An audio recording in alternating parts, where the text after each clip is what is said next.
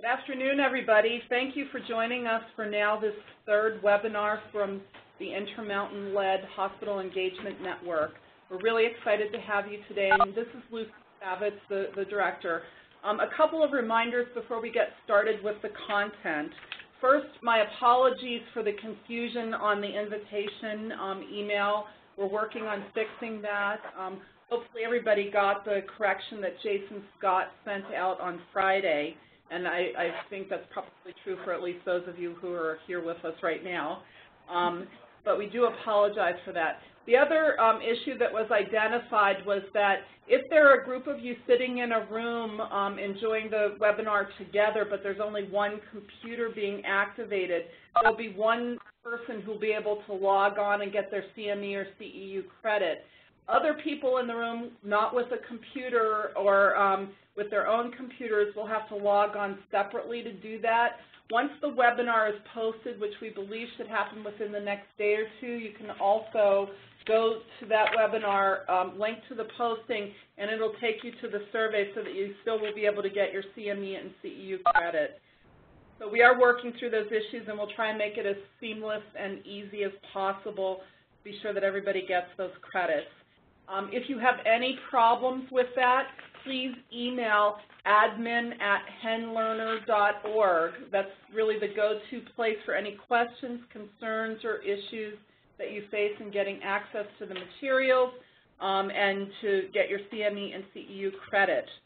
Um, a couple of other things that I'd like to make you aware of um, is that at henlearner.org, which is our website, that's really the, the sort of home base, if you will, for the content material. On the calendar there on the, uh, that you can link to from the first page, you'll see the dates um, and times of the upcoming webinars. Another thing that you will see starting to post there are affinity group calls. Um, in response to um, good ideas that we've received from our participants, there will be a monthly optional call on the 10 topical areas, and they will be introduced as the webinars occur. So you will see after our speaker today um, completes her talk on the very last slide, there will be a day of the month a time of the month, and a single contact telephone number for those people, for example, today working on patient calls.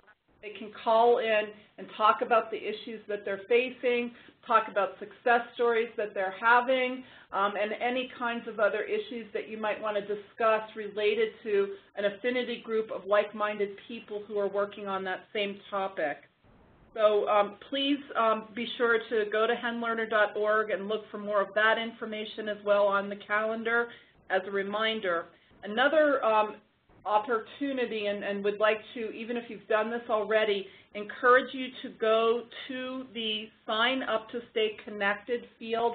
It's at the bottom lower right-hand portion of the home page of henlearner.org and ask you to please sign up. And there's an open text field that says, what topics are you interested in? And we're trying to build that database so that we keep you connected and don't send you too many emails, but be sure we send the targeted emails. We've been working through a key contact in each of the delivery systems, and that may not be the right person for all of the topical areas. So we're asking um, the, the key points of contact, if there are people in your hospital and your health system that you think are interested, please encourage them to go on and sign up and then in that open text field, note the areas of interest so that we're, we're sure we get things to the right people at the right time. Again, if you've done that already, please do it again, um, and we'll be sure we get it to you. The other thing I want to remind you of is the blog. Um, the blog, there's a, a link to it. Um, at the top of the page, there's a tab. And if you go to that blog, you'll find notices that Amy Ann Wuthrich is posting on key events, new information as it's being posted. Um, there's also an option there that you can um, request an RSS field. For those of us who don't know what that means, including myself, it means that we would send you an email when there's a new post to that blog. So it's another way for us to stay connected. If you have items that you'd like to contribute to that, we're more than happy to have you do that. You can send those to admin at henlearner.org. And again, that's our major mechanism for communication. We will be posting um, two success stories that we've received from pledged hospitals. We're really happy to report those will go up next week, and you'll see that posted in the blog. And then the last item that I want to um, just note for you is for the hospital contact, so single main point of contact in the hospitals. This may not be everybody on the call today. Um, we will be sending out a quarterly survey on needs assessment readiness so that we can continue to tailor our programming and help to best meet your needs and be sure that you're seeing value for participation. That will be coming out on June 18th. So any questions, again, email them to admin at henlearner.org. More information, go to our website at henlearner.org. Right now, I'm very, very pleased to present our subject matter expert on patient falls. Um, Marlyn Conti is a patient safety leader at Intermountain Healthcare. She's spent uh, numerous years, um, not that she's an old woman, she's a, what did we decide it was at the in-person, a um, professional who's joined us and really put together a wonderful presentation um, for you today on how to address this important issue in patient falls. So without further ado, thank you very much, Marlyn. Thank you, Lucy. Um, hopefully this will be uh, an opportunity for us to share what Intermountain has done, but also to highlight what other organizations have done. And at the end, we will have some time for questions and then asking you uh, at the end also what kinds of things you need. And we can maybe follow up with one of the um, sessions, monthly sessions, with some additional information as well.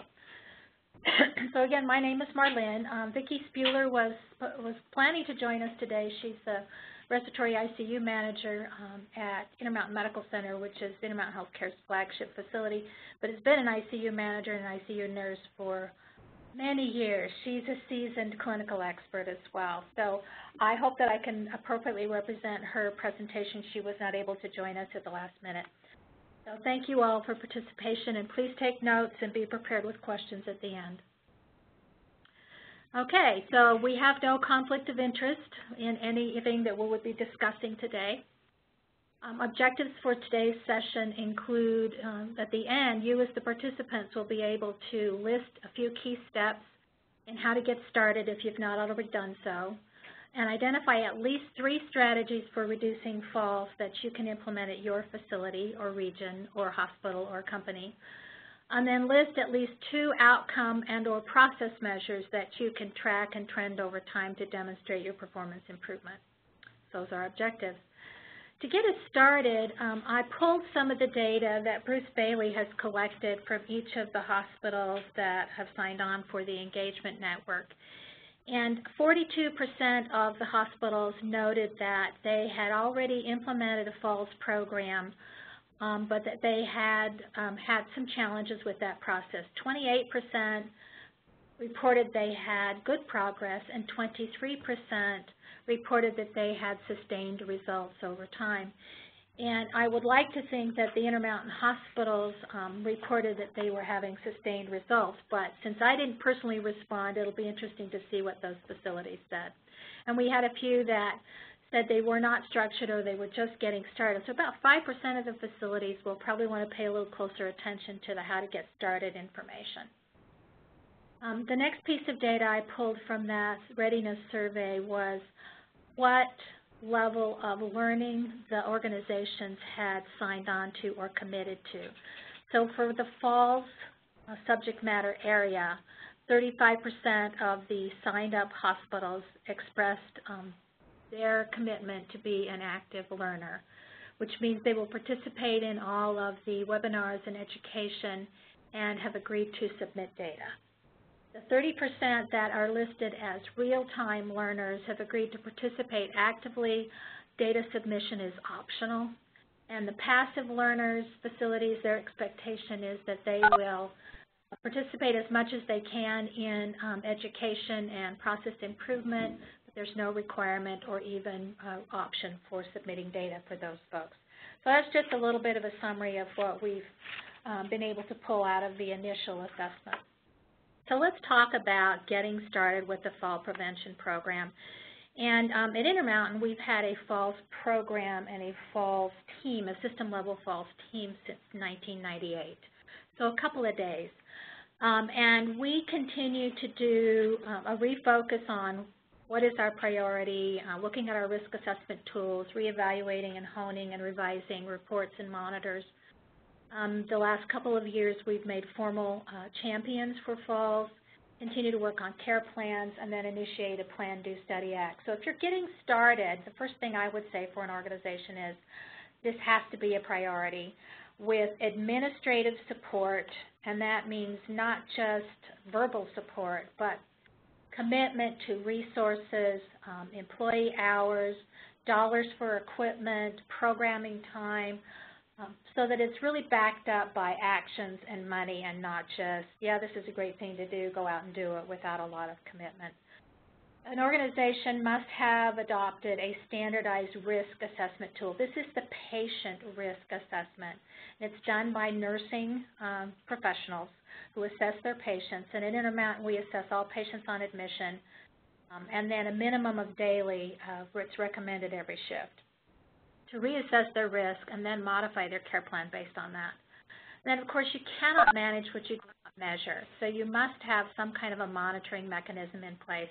Intermountain has had a robust event reporting system since the 80s, and we use our um, event reporting system. So it is a voluntary, voluntary system, but all staff members are educated, encouraged, and we monitor pretty consistently to make sure that the events are being submitted. Then we have various sorts of reports available online via the intermountain.net website that our um, quality Quality and Patient Safety Department data analyst helps us with, and he's sitting next to me for the presentation. So if I misspeak, you can kick me. Um, but we continue to revise and hone those reports as well as the fact that the data is embedded in an enterprise data warehouse. So it's in a data set or a data table that is then accessible by any of the data analysts in the facility so they can do additional slicing and dicing. And then what we've done and what we gleaned from the literature was there really need to be people that are called champions, and you can call them what other title you want. Who is the, qual the quality falls lead? Who's the falls champion? Falls expert, um, team leader, what other uh, titles you want for that. But there needs to be somebody who's been appointed and is supported by the organizational leadership. Then both from the literature and from our experience, it does you no good to have a nice risk assessment tool and good reports and good structure if it isn't actually implemented inside the patient care plans. And we survey to that. We have a robust internal quality survey program for regulatory readiness, and we survey to that process consistently. And then whatever your group or team is or your process is, you need to implement some sort of um, PDSA, PDCA, performance improvement, um, whatever your uh, nomenclature is that you use at your organization. Well, that's just getting started. Now, of course, there are lots of resources out there, and I would refer you to the VA Center for Patient Safety and to um, IHI. IHA has a best practice site for falls, and there are a lot of um, organizations out there that have published their success stories, as well as IHI has a falls toolkit. The Centers for Disease Control, um, CDC, also has a falls, uh, robust falls toolkit, but it's focused on the elderly. And for our intents and purposes today and for the hospital-acquired conditions that we're trying to reduce as part of the uh, Partnership for Patients and the Hospital Engagement Network, we are focusing on inpatient falls. So patient age is a risk factor, but it's um, not totally the CDC information. So those are two references. We will link those on the HENlearner website under the falls topic, so you'll have easy access to those. And those of you who have been working on fall prevention for a while probably already access this information and use it as well. We have an additional literature search, um, other references as well that's been submitted to the Institute here, and at some point we'll get that posted on the website as well. Um, AHRQ stated recently, and this was in a document of 2007, that the best fall prevention programs are multifactorial and interdisciplinary. And I thought this stated that very clearly, and that's what we've discovered at Intermountain, and that you need to be looking at the whole system and processes equipment, structure, policies, procedure, education, from top down to the bottom, and it's got to be interdisciplinary. Yeah, you can't have a separate fall prevention program in therapy, a different one in nursing services, and a different one in surgery. It needs to be integrated and collaborative. So that's best practice. So Intermountain started with a falls risk assessment tool, and when we developed our tool in 98, we went out and did the literature search, and there is much more evidence out there now around certain tools. Many that you may have heard of are the Morse tool, the Hendrich 2, the Schmid, there are some others. Intermountains is really kind of a hybrid of these tools. We have several uh, major components of the Morse and the Hendrich tool in our, uh, patient risk assessment tool at this point in time. On the right side of this screen is a little timed get up and go test that the VA system uses, and they advocate that the primary care providers the physician, does the get up and go test as part of their inpatient um, admission process and that that information is used by nursing staff when they do their risk assessment and their fall prevention plan. Um, next, what we've done at Intermountain, on the right-hand side is just a screen of our embedded collaborative practice guideline. We have system-wide protocols that are available online, and you can get to them by keywords. But that's how we standardize our protocols, particularly for nursing care and other disciplines. So it's embedded in the computer, and then we've taken the risk assessment tool and embedded it in our computer charting system and into hard paper forms. Any computer charting system has to have downtime forms, so we've embedded the assessment tool into those downtime forms as well. As uh, some of our areas also, some of our ambulatory areas do not currently have access to the system standard inpatient charting tool yet, so they're still using paper. Then the other thing we have to do, and I say hard code the frequency of the system, of the assessment. Intermountain has had in our protocol the requirement that you must do the assessment upon admission and then a minimum of daily. Higher risk units do them at least once a shift. And what I mean by hard code is that we had it in the protocol and we had it in the education and in the computer, but we weren't forcing the function in terms of the fact that nurses could just skip over it or they could accept the previous nurse's assessment without actually reviewing it. So last year, one of the things we put into place is a hard stop. So if the risk assessment tool has not been completed during this nurse's shift, it's in bright red at the top of their screen every time they turn the computer on or go to do bedside charting that they have to complete that before they can sign off at the end of the shift. And that improved our frequency of the initial assessment and the daily assessment from about 94, 95% up to 99% completion. So I think it's been very helpful. And then, of course, monitoring compliance. We have a system where we do uh, routine medical records review as part of our ongoing quality performance and um, internal quality survey process and our desire to be continuously ready for surveys. So this is a another monitor where we do closed chart reviews or open chart reviews to see and have the nursing staff review each other. So we're monitoring local compliance as well. So that's the assessment tool, um, how it's embedded. Yeah, let's see next. It's not going.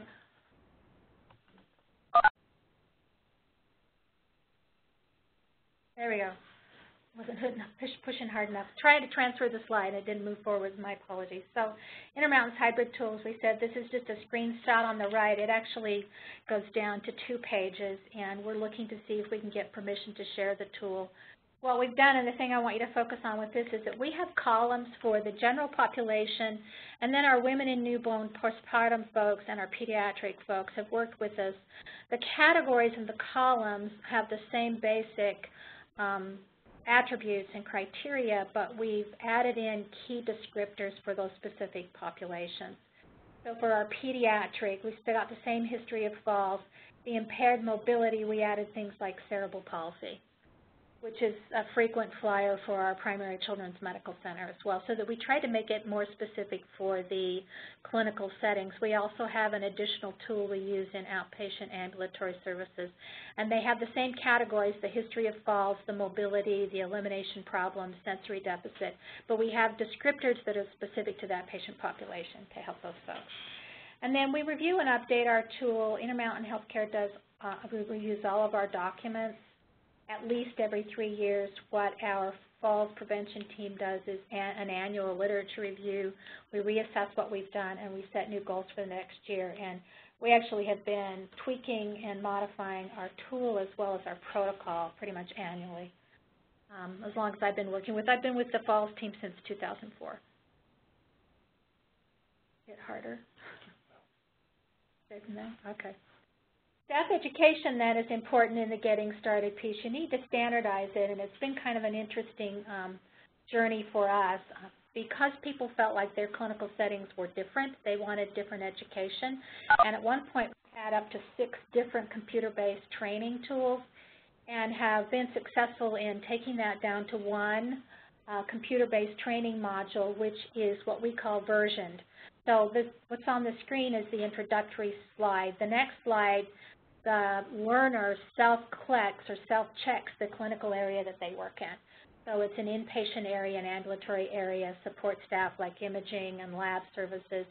Home care is also in here uh, so that they then get content specific to their area. So that is an annual requirement for our staff. The other thing we've done along with that is we've sort of branded our falls images, fall prevention signs, made logos so that there you get the visual uh, branding and the visual recognition across all our facilities and, and hospitals and, uh, and departments.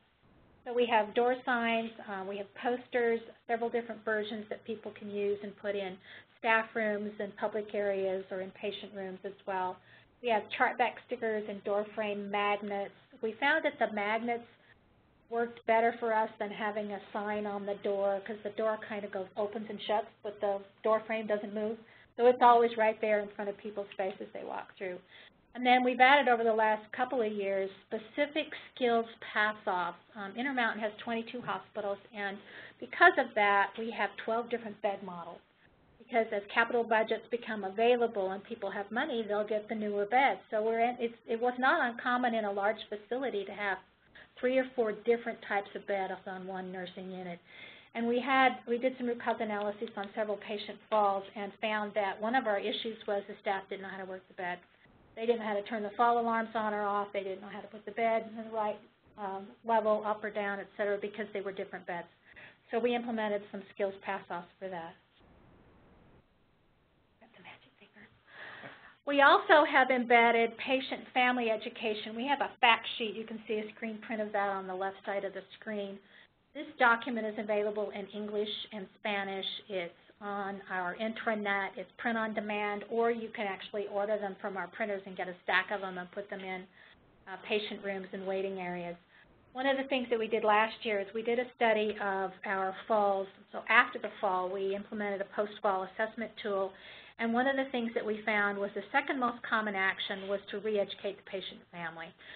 So when we looked at that, what we ended up doing was hard-coding it into the computer charting. So when the nurse finishes the risk assessment and they determine that the patient is at risk of fall or that their falls risk has increased, they are prompted with a little screen pop-up that says, this patient's at a risk for falls, would you like to print the patient education fact sheet at this point? We found that the feedback from the nurses was that this was much more, um, so it was much more timely, and it's just in time rather than giving all the patients being admitted the same information. And it meant more to the patients and the families because it was related to the nursing assessment and the, the uh, decision that they were at a risk for fall. So we've got good feedback on that, but that's one of those hard coding functions that we, we've been trying to build in. Then, of course, the posters and the door frame magnets, and then listing the patient and family engagement. We have a pilot project going right now at one of our facilities, and it was based on some work done at the University of Utah Medical Center. They're actually having the patients and families sign a commitment or agreement that says, we, we understand that I'm at a fall, at risk for fall. I promise I won't get out of bed without pushing the call light and making sure that I have someone there to assist me, um, those sorts of things, to, so to elicit that engagement. So we'll be getting the results of that project in the next couple of months. Okay. Then let's move on to working harder. So we've talked a lot about some of the things you need to do to sort of get started, and most of the organizations, as we said earlier, are already at the working harder phase. What we found to have the most impact is the champions. It's getting that focus, getting individuals who have been delegated, they're accountable, they've been given authority, and then our role as the fall prevention team is to get the right tools in the hands of those champions, the right education content, um, good assessment materials, implementation plans and support, good preventative mechanisms, and then, of course, monitoring of the data and reports and getting that feedback to them. Oh, wait, let me show you. The picture on the left, when you have time to go back and look at that, if you look at that, the there's several things in there that pose a fall's risk. So her walker is actually on top of the belt on her house coat, which is dragging along the floor, and there are obstacles in the room and other sorts of things. So it's actually a slide we pulled out of one of our education documents. So at Intermountain, what we've done in terms of the structure, so if we're working harder when we've got this leadership focus, we have a system fall prevention team. We have asked for and designated region teams and facility teams. And at Intermountain, we have 22 hospitals, and they're divided into geographic regions. So we have a north region, a central, a south, a southwest, and then we have a rural, which is a collection of six facilities that are 40 to 20 beds. So they, they have regions then that work together and learn across um, their organization. So those groups then report to the System Falls Prevention Team. Um, each of those fall champion teams or the fall prevention teams must be multidisciplinary. And as a minimum, they need nursing services, uh, safety officers, physical therapy, pharmacy staff, and education resources participating on those teams. Okay, I've pulled some data from one of our references, Nursing Quality Network, as information that we use and share with our champions and teams, and also as, as evidence as to why we really need to do this. So we need to empower the champions, designate the teams and committees as we've talked to, and then in Intermountain, one of the things we've done to work harder is link and connect with our Safe Patient Handling program, which is a fairly new program for us. We just implemented a program that's policies, procedures, and equipment and training in 2008. So we're still getting um, some good gains out of that process. So nationally, 30 to 51% of the falls have injuries. We don't have quite that rate here. Ours is much lower, but we've been working on it for a while. Also nationally, they say 80 to 90% are unwitnessed. Um, at Intermountain, it's much less than that. It's around 20 to 30%. And those are unwitnessed, unassisted sorts of falls. 50 to 70% occur during transfer. We actually collect as part of our event reporting system. So when you submit a fall event or a patient event, it asks you what activities the patient was involved in when the fall occurred. And one of the criteria is during transfer. So we're capturing that data as part of our safe patient handling.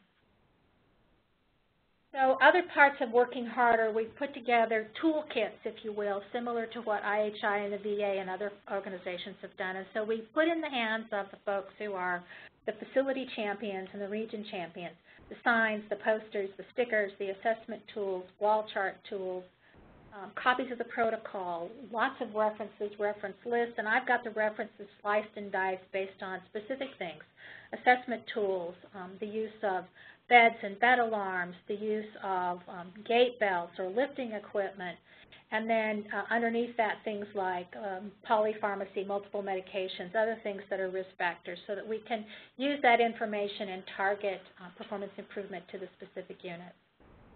Um, lots of education, we've talked about that in the skills pass-off checklist. On the right is just one example of one of our signs, and it's got our Intermountain's colors are kind of blue and green and white, and our falls risk is a little logo with falling stars on it. We try and keep the colors and the image the same across all of our posters and education documents and the door frame magnets and chart, uh, chart back stickers. This is just a screenshot of one of the reports that we have. So we fully believe in making data transparent, and it's available on the intermountain.net on our web reports portal. And at the system level, we do uh, have process control charts. This particular one is a run chart, but uh, we do all falls, all falls with the different levels of injury, mild, moderate, severe. And, uh, of course, this is the inpatient falls. And you can see we've got a good trend with the injury pieces, and we've got some other data here we'll show you in a minute as well. Um, process control charts then again on the web are available at the system level, the region level, the facility level, and then some of our reports have data at the department level. When you get down to a department who only has maybe one fall every three or four months, we don't do process control charts at that level. But they do have the data we can get to. So the important thing that you can see here is that we have a really nice trend in, this is our falls with injuries which is also our board goal for this year. So in terms of the leadership commitment, last year our system-level governing board chose to focus on reduction of inpatient falls. So we brought that down substantially. This year we're focusing on continuing the reduction of falls, but to continue and get better with the reduction in terms of injuries. And this fits well with the hospital-acquired conditions and the falls with injuries uh, focus of CMS and AHRQ and others.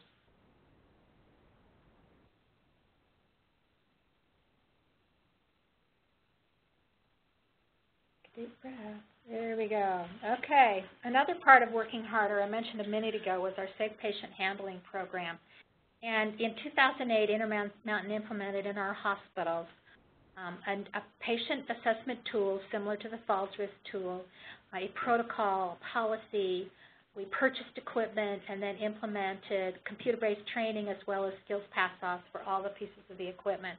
So on the right, you're seeing just examples of some of the equipment we made available. Um, there's slide sheets. There's an air mattress that we can use. There are several different portable lifts with different types of swings for both ambulation assist as well as um, lifting and turning immobilized patients. And we've tried to standardize, again, the theme, the color, and the image. For safe patient handling, what you see on the left is our, our image and the colors that we use for all of our signs and education. And we also have the door frame magnet and chart back stickers for safe patient handling in addition to the falls piece.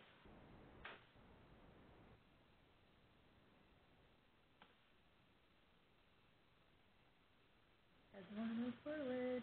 There we go. Hit, hit it hard. Okay, let's talk about moving um, towards ahead of the curve. So if you've got your basic structure in place, you've got your policies, protocols, and assessment tools in place, got some teams in place, what are some of the things you can play with? I've just listed a few things we've been working on at Intermountain. I'm trying to tailor the interventions that we use in the care plan specific to the individual patient risk.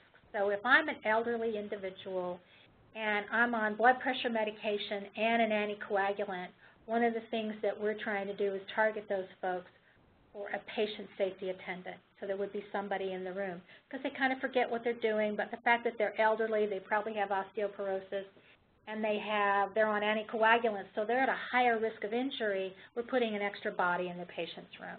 And we've standardized the protocol for that and the training of that individual and trying to standardize where we use those individuals as well.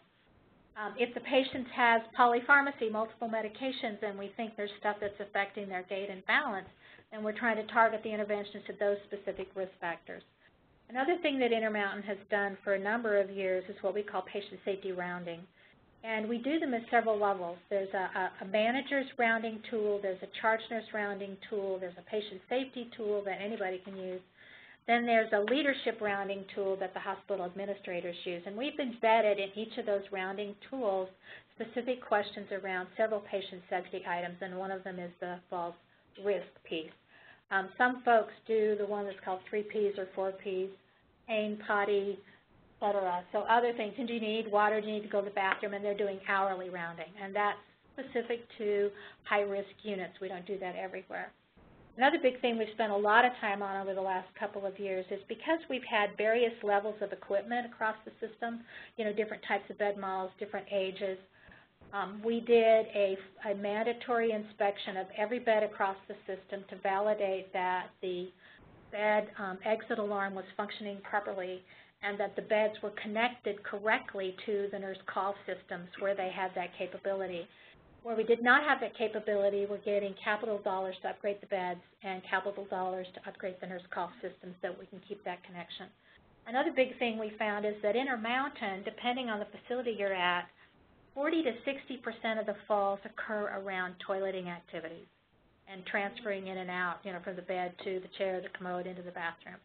So we pilot tested in one of our facilities a, toilet alarm and a chair alarm, and both of these alarms can be connected to the nurse call system. You unplug the nurse call button and plug in the, the alarm as well, and we've been having very good results where we've implemented that tool. And then other, other areas we've worked on a lot is embedding in our computer systems more decision algorithms and logic to support the nurses. An example was the one that doesn't let them bypass the falls risk assessment. They have to open it up and they have to acknowledge that it's correct. And then the prompt to do the patient family education piece as well. So now I get to speak for Vicki, Vicki Spuhler um, as our respiratory ICU manager. She actually presented at um, the IHI conference last December, and she has a whole presentation on improving mobility in intensive care and the outcomes uh, improvement that they've seen over time. She couches the, the whole mobility piece, and I've talked about safe patient handling, but this is mobility and activating, actively getting the folks out of bed quicker um, as part of a key strategy to improve long-term outcomes of all ICU patients. And they work specifically on making sure the patient's getting the right sleep, that the sedation is, they get sedation vacations, and we keep the sedation as light as possible when patients are on ventilators, that we're managing the medications and focusing on the delirium and the confusion that folks get, and getting them out of bed quicker and faster. And they get patients out of bed while they're on the ventilators and all their tubes attached getting that patient up and moving keeps the muscle strength and everything else.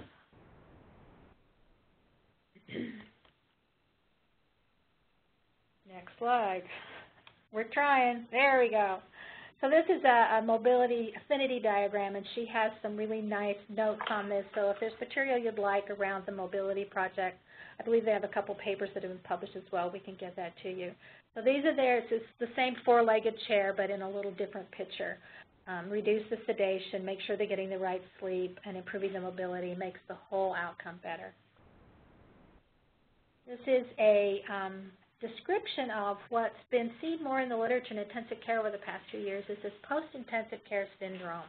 And they're actually finding that the longer length of stays in ICU, when you look at the patient's quality of life and their ability to return to their activities of daily living post-discharge, um, can be greatly impacted by increasing the mobility, uh, reducing the sedation, getting the patient moving quicker and faster. They've done some studies where they've actually looked at the folks after discharge, and even, you know, multiple trauma patient at 30, 40 years old is an active, productive member of society. If their intensive care unit stay was longer and they were in bed longer, many of those people are not able to return to activities of daily life or even get back to work. So they're really focusing on the physical impairments, working with the families, ambulating the patients, and reducing the, the uh, sensory deficits, improving sleep, et cetera. These are some outcomes that they have. We need to fix those. So we've typed in the dollars over the top of the bar chart because you couldn't read it. So at post, uh, post improvement project with their mobility, they reduced the average cost per day from 2,700 to 1,500 per day um, in their intensive care the shock trauma intensive care unit, respiratory intensive care unit. And the uh, 2009, 10, the 11 data and the 99, 2002 data was adjusted for costs. I mean, for the cost per unit of service and the charge master stuff. And this is an improvement of their length of stay. So a reduction in ICU length of stay, which really makes CMS happy um, significant reduction with their mobility project and uh, sedation vacation, those other initiatives. Then their discharge disposition, and this was one slide that they focused on at their IHI conference as well, is that we are getting patients, so it's just then and now, so it's the previous and the before. We're getting patients home rather than to care facilities. So a SNF is a skilled nursing facility or rehab. So 67% of the folks are going home with a little bit of home care versus having to go to another care facility, which again is big bucks in terms of reduction of cost, but it's also getting the folks back into their environment and having much more success with return to their, um, their work life and their normal function. So good, good outcomes with their process. And then they, of course, have all kinds of protocols. They have some decision algorithms and computer-based decision uh, charting tools as well. Um, let's just talk a minute about uh, staying ahead of the curve and improving your rates. And one of the things that we've done, and thanks to Eric Crawford for doing this for me, but we've looked over the past few years to, at some of the projects, big system projects, and have, have redone our process control charts to show the significant improvement that we've been able to get from the different programs. So mandatory falls risk training. It used to be optional, now it's mandatory, we track it. The whole safe patient handling initiative, again, lowered the mean as well as the upper and lower control limits. And then launching of our patient uh, safety teams, the fall champion teams, the system board goal in 2011 and 2012, and then the bed inspection that we did last year and the focus on integration of the bed alarms with the nurse call systems and those sorts of things continue to drive our rate down. So this is the falls with injury per thousand patient days. Um, this is a graph, and I have to show you this because it's, it's kind of funny. Um, we, this is a run chart. We do have process control charts, but it's patient falls related to transfer and lifting, and that's one of the criteria I talked about earlier that we have in our event system. To report a fall, you have to say what activity the patient was involved in. Last year, when we targeted patient falls reduction as our board goal, we saw a spike in falls related to transfer and lifting, and a related spike in employee injuries related to transfer and lifting activities. And when I interviewed and talked to both the falls prevention team and the safe patient handling team, they both said, well, we're trying to meet the board goal, so we're not letting people walk by themselves. But what they were not doing was they weren't using the appropriate ambulation slings or lifts or gait belts. And so third and fourth quarter last year, we focused on the use of gait belts for assistance with ambulation. And in first quarter, actually, the rate is back down to 0.26. So hopefully we'll get some performance improvement out of that. But that was kind of one of those unintended consequences. So if you focus on fall prevention, you better expect the employees to get hurt. Which I really wasn't happy about, but it was. Okay, other things in terms of staying ahead of the curve and continuing to drive improvement. As I mentioned, it's, it's a system board goal for Intermountain for 11 and 12. Uh, we changed the education from recommended to mandatory. So what that means at Intermountain is the employees can't just skip it, and if they don't complete it, they don't get a MET on their performance appraisal. Therefore, they don't get their payroll, uh, pay raise at the end of the year. So we, we don't like to get heavy-handed unless we have to, but sometimes you need to do that. So that's one thing that we did. Um, and then connection, the, the physical connection between safe patient handling and the fall prevention champions. And we have a similar structure for safe patient handling as we do with the fall prevention with the system team and the region and facility teams and champions at the facility and unit levels. And so this year we've been focusing on making sure those folks are partnering, that they're working together for employee uh, education, for patient family education, and as they look at um, making sure the patients don't fall again so we don't have frequent flyers. And then as the work I reported on terms of uh, working on our beds and the bed alarm integration with nurse call systems. And we're really recommending that we get more of the smart beds. We have a lot of beds in the system where the alarms work great. The nurse has to turn it off when they get the patient out of the bed. They go to the bathroom, they come back, and the nurse has to remember to turn it back on. The newer, smarter beds turn themselves on once the patient sits down on the bed. So that's one of the things that we think will help us. It's a human factors issue in terms of I'm so busy I forget all the things. I got their IV hooked up and I handed them their nurse call, but I forgot to turn the bed alarm on.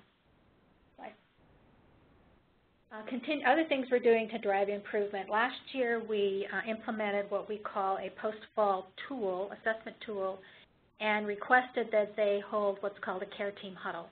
So if, once you do have, we want to do everything we can to prevent the fall, but if there is a fall, then we want the care team to formally meet. They fill in a piece of paper, it's an assessment tool, and say, what were the factors that contributed to the fall? What did I do after that to prevent the fall from reoccurring? And then we harvested that data for some of the performance improvement we've done this year. Um, and then, of course, we talked a minute ago about the gait belts and making sure we're using those for ambulation. And on the right-hand side is a little, it's a sticker and a door frame magnet that we use.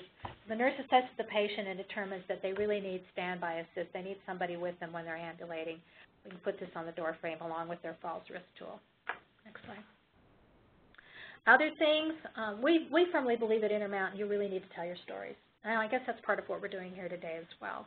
But getting the folks at the front line to tell their stories, not just Marlyn at the corporate office telling the stories, I think has got, um, gives us more power at the unit level. So this is just a, it's an excerpt from one of the stories we ran recently, and this happens to be the LDS Hospital Med Medical Surgical ICU unit as well, and they have had really good success. This is their, one of the units that participated in the mobility project that I reported on for Vicki Spuhler's um, program as well and um, they interviewed the staff, interviewed the patients, and are really high-end users of, of all of our lift equipment and getting the patients out of it. So it makes more sense and it means more to frontline staff if they get to hear each other's stories and then tell the stories themselves. We're getting close.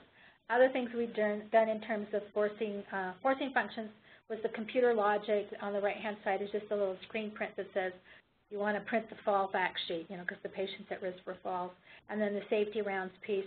Intermountain has a, another database. It's an application that's available on our intranet, and we encourage our leaders and managers to enter their rounding data into that tool. It's a database, so they can get reports out of it, and then use it for performance improvement at their unit level.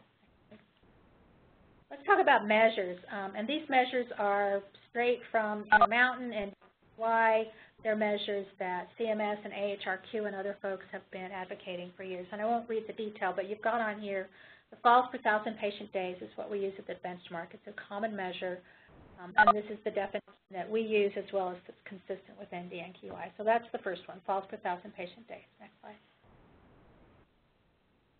We just got magic fingers, not magic fingers. Why is it slow?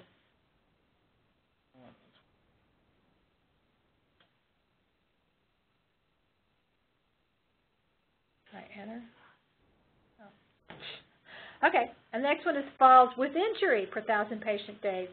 So we define injury um, using the modified table from the NCC MERP, that's the um, National Council for Medication Safety, but it, it, it, defines for us as objectively as possible mild, moderate, and severe levels of injury. And we use that uh, and calculate the rates. Those are available as the, the web graphs and the web reports as well. Assisted and unassisted falls. So when the staff member enters the fall, they have to say, was this patient assisted or unassisted? And um, if, and then we track that separately. And what we're trying to do with the Safe Patient Handling and Mobility is increase increase the proportion of assisted versus unassisted because you want to be able to predict the patients that are at risk for fall and make sure they're not left alone. And the literature shows us that if the patient has an assisted fall rather than unassisted, that injury is significantly reduced. And then some other things we monitor is falls by risk level. So inside the event system, we when they enter it in, they have to put in the actual score, the falls risk score. Then we look at the falls related to transfers as part of our safe patient handling project. And we have um, some medical review, medical record review data. We collect this from the medical records itself. So I am through with the formal part of this presentation and would like to open it up for questions. I guess the two main questions are, um, what tools and documents would you like to have posted on the HENlearner site? We'll start with that question, and then the next question is going to be, what would you be willing to share or what is best practice? How do we open that up? Manel, please open the line. Yes. I need to have control back. There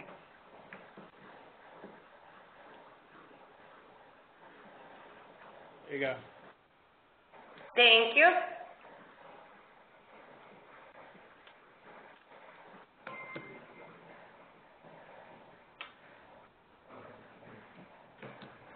Do we have any questions from our participants?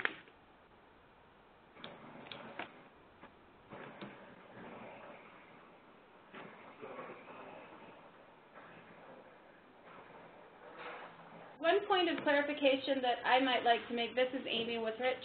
Um, the outcome measures and the process measures that Marlyn spoke about will actually be what we'll be using and collecting from our um, HEN hospitals that are real-time and active learners. So we'll, we'll talk in more detail and give you information on how we'll be collecting those, but those will be the measures that we'll be collecting from our hospitals as well. Okay, there's a question on the screen. It says, when did you implement rounding? At Intermountain Healthcare, we implemented a formal rounding process about four or five years ago, and it was part of our service quality, service excellence initiative um, related to our HCAHPS satisfaction survey scores. And we have a system-level service quality director who helps us with that, and they, they developed the different levels of rounding tools. And then we've tweaked that over the years and added the additional patient safety questions as well.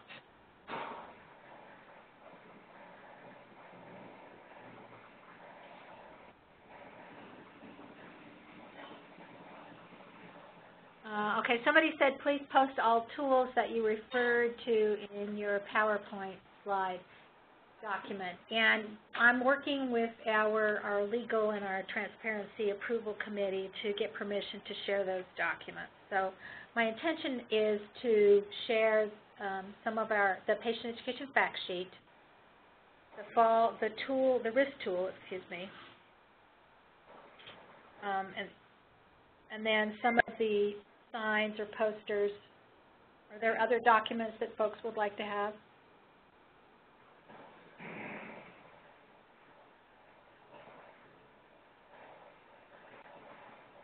Okay, we'll wait for feedback on that. Another question says, what did you say about the measures for submitting data? Amy, you said more information to come? We will be providing more information, but the measures that we will be um, asking you to submit are the measures that Marlyn spoke about. Does that answer your question? Okay, another question was, did you make any changes to the patient environment as a result of this work? And that's an excellent question. In fact, yes, we did. And I've been working with our facility architects, and we have 22 hospitals, and we tend to build new hospitals periodically. We opened up two new ones three years ago. We have another one planned for a couple years down the road. But I've been working with the facility architects to put together a fall risk environmental assessment tool, which is a series of questions and things we look at. In fact, I had a wonderful opportunity. We opened up um, our Intermountain Medical Center in the end of 2007. We closed down one of our mid-sized hospitals, which was the Cottonwood Hospital. And on that same campus is the Orthopedic Specialty Hospital. And because we were tearing down the patient tower, they retrofitted an office building for patient rooms. And their fall rate, they're an orthopedic specialty hospital, so their fall rate's going to be higher to begin with. They have a higher percentage of their patients who are at risk for falls. But I kept getting these complaints from the nurses saying, well, the patient's tripping over the bathroom threshold, there's too many wires, and there's and the, then the uh, electrical outlets aren't where they need to be, et cetera, et cetera. So I took our false risk assessment tool, and I went into the facility and did a room-by-room -room inspection with our system safety officer and with our representative that does the bed and the nurse call systems. And we went in and looked at the rooms. And there are requirements that door thresholds not have lips beyond a quarter of an inch, and we were upwards of an inch and a half in some of those rooms, in the, going from the patient room into the bathroom. And the problem was we retrofitted an office building for patient rooms, and in order to get the proper drain in the shower and the toilets, they had to raise the bathroom floor. So what we ended up doing was retrofitting, we actually ended up sloping the floor out about two or three feet from the bathroom door. So they had to pull up the floor, lay down concrete, slope it, put the floor back down, redo the threshold. And another issue in that one was they didn't have, the electrical plugs were like three feet out from the sides of the head of the bed. So all of the cords were strung out across the room. And in that orthopedic unit, they have CPM machines and two or three different IV pumps, a pain pump, an anesthesia, uh, an antibiotic pump. Uh, they may have had oxygen, other sorts of things. We had so many whatnot going all over the place, it was driving them nuts. So we have a tool, and yes, we, we did those changes as well. I've been working with engineering and architects to go back in and relook at a lot of the rooms and get the carpet out of the patient room. People trip on carpet. It's easier on the floor. Of course, you've got to keep the floors clean and dry. but uh, anyway, so those are some of the things we've looked at. Another question? Um, would love to be able to see your tool for peds and women's health population. So that is part of our tool, and we're going to get the uh, trying to get permission on that. But what it's the same categories, but what we did is we modified the descriptors related to the mobility or the the visual issues of the medication, those sorts of things. So yes. Other questions? Since I joined late, but I'm curious if you had challenges related to proactively using safe patient handling equipment. Yeah, that's a whole other conversation. You're absolutely right. That's been my biggest barrier is changing the paradigm and the belief of the bedside care to use the equipment and stop lifting patients with their backs and their arms and legs. So we're still battling that, but we do have um, 40 to 60 percent reduction in employee injuries, which is significant because Intermountain is self-insured for our workers' compensation. So our risk management folks are really interested in that. Okay, another question is, do you use restraints, especially vests, as a resource in this protocol? Only as a last-ditch effort, and it is inside our protocol. And if you can't, if the patient is confused and not likely or able to follow commands, then we do recommend that you use um, a safety restraint, um, a vest, or um, upper arm restraints. We try not to use that. We actually have a few facilities who are restraint-free, and what they do is they use the patient safety attendants. Now, that's a fairly substantial resource, but when you look at all the CMS and the Joint Commission requirements around restraint use and monitoring, you have to have an order for the restraints, you have to do the physical evaluation, you have to monitor a dozen different pieces of data for that. It's actually cheaper to just put a PSA at the bedside and not initiate the restraint. So good question. Any other questions? Um, the second question was, who would be willing to share improvements or best practice? Oh, okay, we do have another question. Who's involved in a post-fall care team huddle? The request is that it be the care team on the unit. So that would be the RN, the CNA, the therapist. Um, all of our units have clinical pharmacists assigned to them, um, the charge nurse, those sorts of folks available. And they need to be filling in the document. And I didn't show you the document, but it's a series of questions as to what factors contributed to the fall and then what they're going to do to prevent the fall.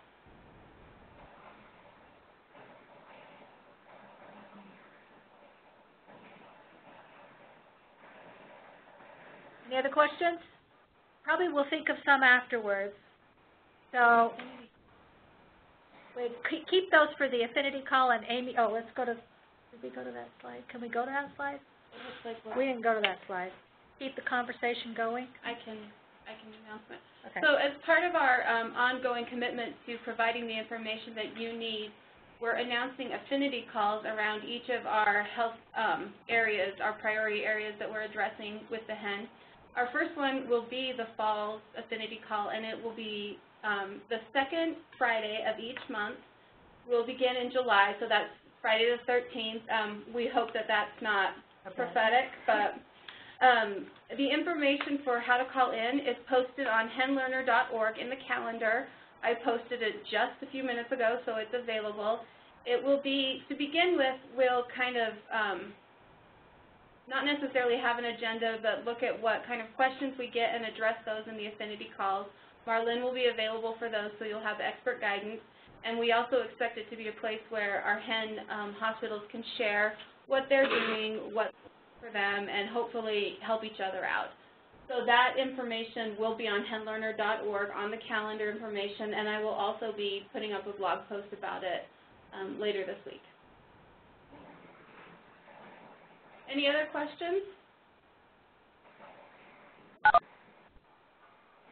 Okay. Arlene, do you have anything else to add? No, other than this is a journey, and nobody's perfect. So, but we're all in this together, and we want to learn and share. Thank you for joining our webinar, and we look forward to having the um, recorded webinar up in a couple of days. Please go to henlearner.org to access that information. Thank you.